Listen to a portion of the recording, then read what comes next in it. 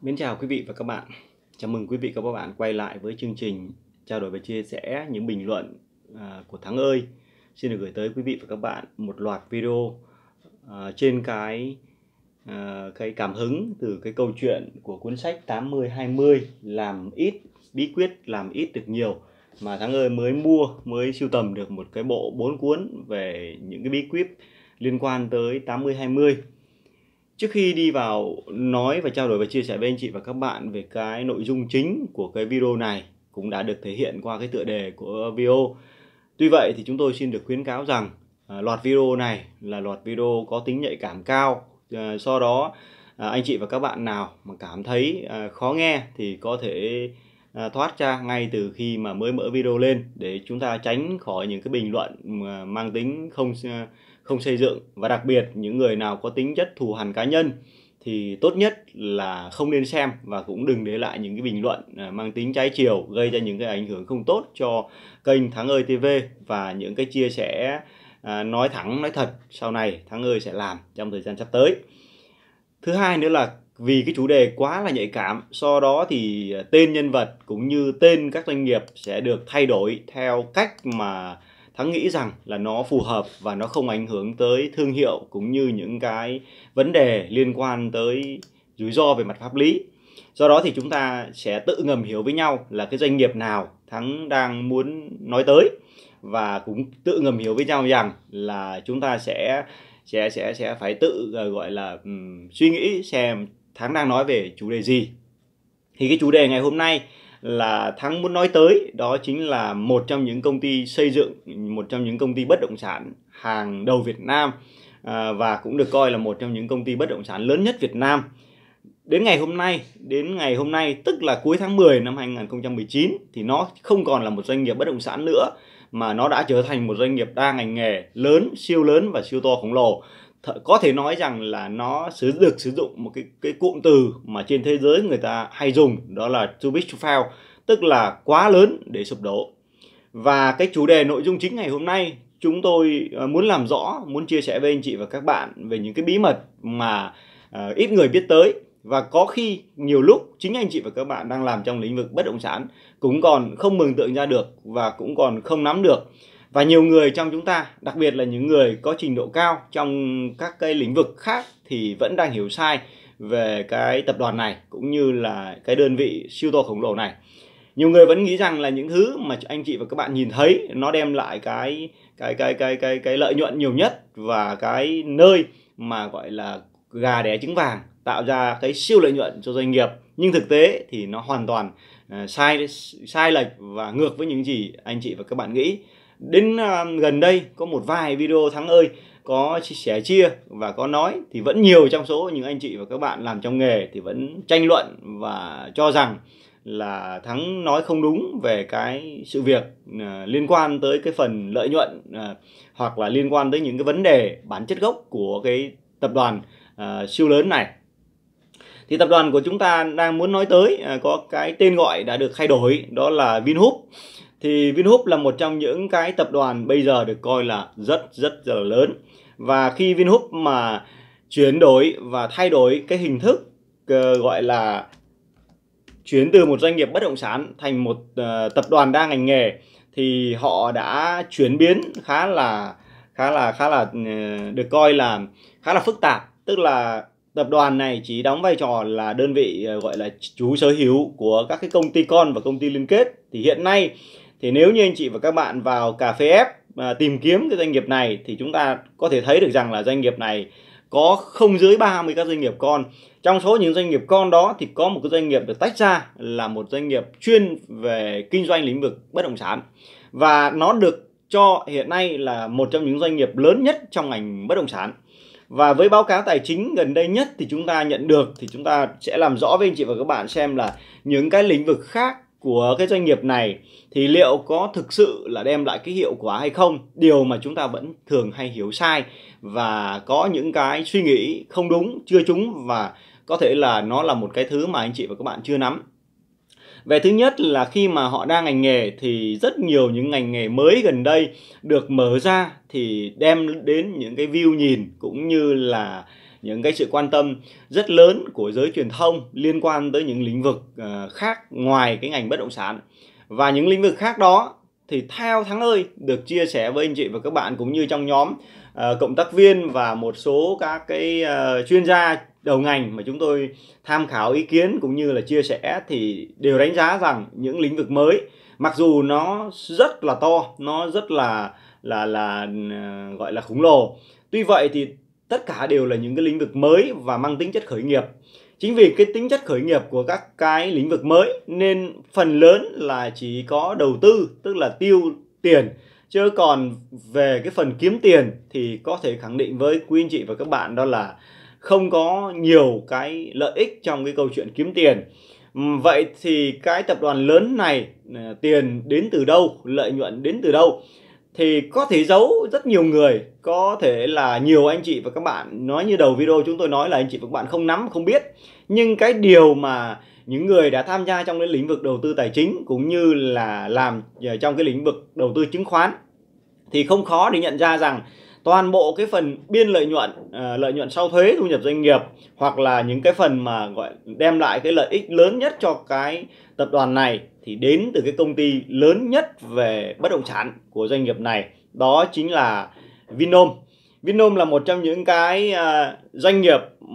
sau được mới được gần đây thì được tách ra khỏi cái tập đoàn và phụ trách riêng về cái mảng và cái lĩnh vực bất động sản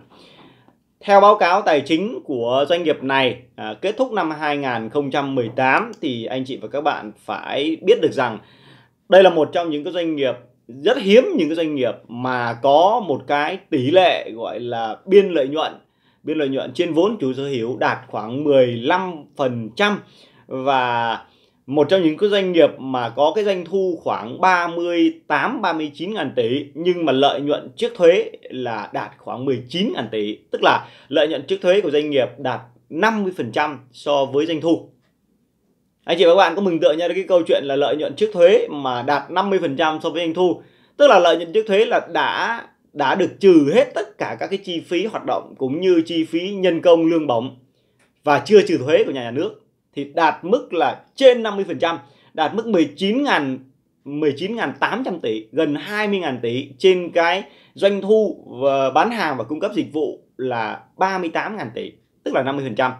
Nói tới đây thì anh chị và các bạn thấy rằng là lĩnh vực bất động sản là một trong những cái lĩnh vực nhiều người thì vẫn cho rằng là biên lợi nhuận thấp, chúng tôi cho rằng biên lợi nhuận siêu cao. Và nếu như tính trên cái biên lợi nhuận mà gọi là biên lợi nhuận trên cái uh,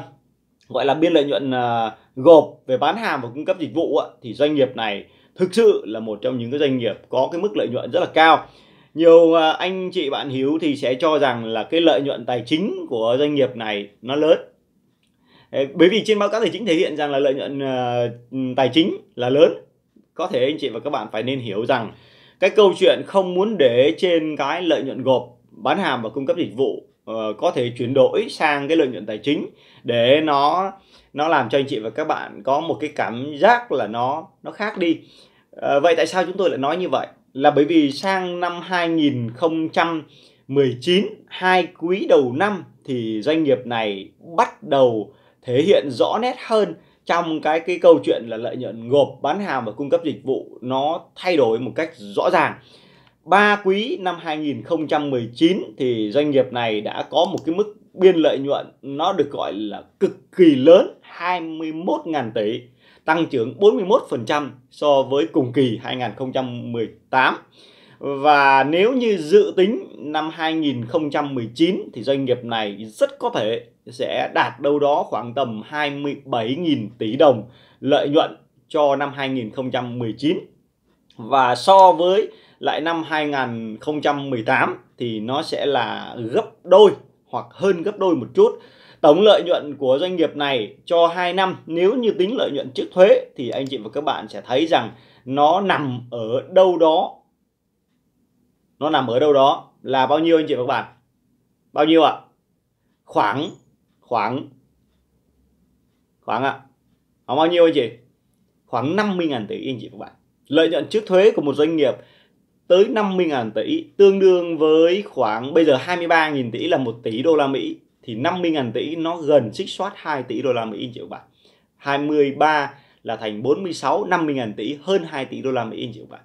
tức là lợi nhuận của doanh nghiệp này là là lợi nhuận trước thuế là khoảng đâu đó 2 tỷ đô.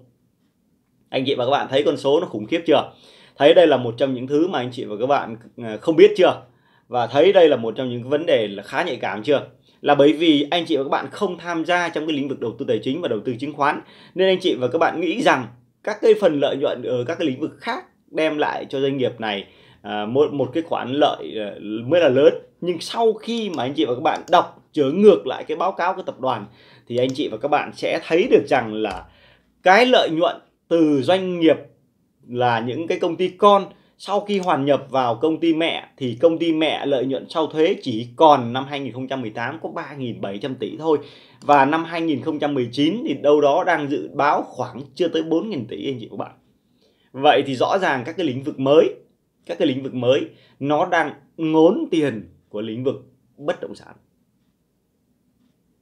Chúng tôi không muốn à, đào sâu hơn nữa vào cái câu chuyện bất động sản nhưng chúng tôi muốn cung cấp một cái chủ đề khá là nhạy cảm và ít người biết tới liên quan đến câu chuyện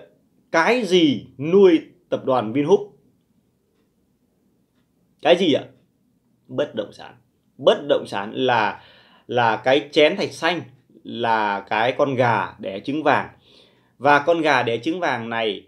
đã rất rất thành công trong giai đoạn 2016 2018 và 2019 vẫn đang thể hiện được những cái sự thành công nhất định.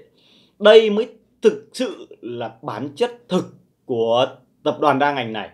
Và đây mới là thứ sản phẩm thực tế tập đoàn này đang bán và đang chú là sản phẩm chủ lực của doanh nghiệp này. Bởi vì nhiều người thì vẫn mường tượng về cái câu chuyện bán xe hơi để có lời một doanh nghiệp mới khởi nghiệp trong lĩnh vực xe hơi không bao giờ có thể hòa vốn trong 5 năm đầu, chứ đừng nói là một vài năm đầu. Hòa vốn chỉ là hòa vốn là chưa có cửa nào để hòa vốn. Bởi vì cái phần chi phí gọi là cố định xây dựng và những cái chi phí ban đầu nó quá lớn. Những lĩnh vực khác, ví dụ như là những lĩnh vực bán lẻ là một trong những lĩnh vực được gọi là đốt tiền và nó cũng đang ngốn rất nhiều uh, trong số những cái cái cái cái cái cái cái cái lợi nhuận của doanh nghiệp này các lĩnh vực khác thì sao? Ví dụ như là bệnh viện ví dụ trường học ví dụ như là những lĩnh vực mới mà sắp tới đây cái tập đoàn này có thể mở ra thì chúng tôi có thể chắc chắn với anh chị và các bạn rằng là nó là những lĩnh vực khởi nghiệp và nó chưa thể đem lại biên lợi nhuận. Vậy cái gì nuôi cái tập đoàn? Cái gì là nguồn dòng tiền lớn nhất và cái gì là sản phẩm chủ lực, đó chính là bất động sản. Đó chính là bất động sản. Và bất động sản là một trong những cái sản phẩm mà có một cái phương pháp định giá trời ơi nhất trên ờ, tất cả các loại sản phẩm. Bởi vì các loại sản phẩm sản xuất khác, anh chị và các bạn hoàn toàn có thể biết được chi phí đầu vào, chi phí đầu ra, có thể sử dụng một số các cái biện pháp định giá giản đơn, cộng với biên lợi nhuận. Ví dụ như sản xuất một cái một cái đồng hồ chẳng hạn ví dụ một cái đồng hồ chẳng hạn thì chi phí sản xuất là bao nhiêu người ta biết. Hay là sản xuất một cái một cái máy điện thoại hay máy tính thì chi phí sản xuất người ta đều biết và biên lợi nhuận cụ thể người ta sẽ biết và định giá nó sẽ có một cái cách định giá rất là rõ nét. Nhưng ở đây Apple có thể làm được một cái việc mà anh chị không thể nghĩ tới đó là họ không bán cái sản phẩm công nghệ mà họ bán à, một cái thứ đó là bán cái niềm tin tiêu dùng bán các cho những người gọi là fan của Apple, bán cái gọi là đẳng cấp. Như chúng tôi đã chia sẻ với anh chị và các bạn ở cái video trước, thì Vin cũng làm được, Vinhub cũng làm được, Vinhub cũng làm được. Một cái việc mà chúng ta ít khi có thể nghĩ tới đó chính là bán đẳng cấp trong sản phẩm bất động sản. Niềm tin vào đẳng cấp và để làm cho cái đẳng cấp và giá thành của bất động sản cái sản phẩm chủ lực của doanh nghiệp được bán ra và đó chính là sản phẩm chủ lực trong vòng 10 năm tới. Thì anh chị và các bạn phải nên nhớ rằng cái, những cái thứ thông thường của dân làm bất động sản chỉ nói đến đường, trường, trạm, những thứ liên quan tới những cái tiện ích thì cái tập đoàn này họ đã là số 1 họ thừa sức có thể làm được còn đẹp hơn các cái dự án ở Singapore, ở Hồng Kông hay là ở Nhật Bản luôn nhưng điều đó nó chưa kinh khủng bằng việc họ sẽ mặc lên mình những cái áo cực kỳ là khác biệt, không chỉ đơn giản những lý thuyết thông thường của quý anh chị và các bạn biết về một cái sản phẩm bất động sản tốt, mà nó còn được khoác lên mình các loại tiện ích. Ở nhà Vinhub, đi xe Vinhub, đi học Vinhub, bệnh viện Vinhub rồi rất nhiều những thứ đi kèm có sẵn. Thậm chí anh chị và các bạn trở thành một con người Vinhub. Trên cơ thể anh chị và các bạn, từ chiếc đồng hồ, chiếc điện thoại, chiếc xe ô tô, các cái thẻ thành viên của chuỗi bán lẻ, thẻ bệnh viện, thẻ trường học của con anh chị. Và rất nhiều những tiện ích đi kèm anh chị và các bạn có thể cả đời không ra khỏi cái gọi là cái hộp Vinhub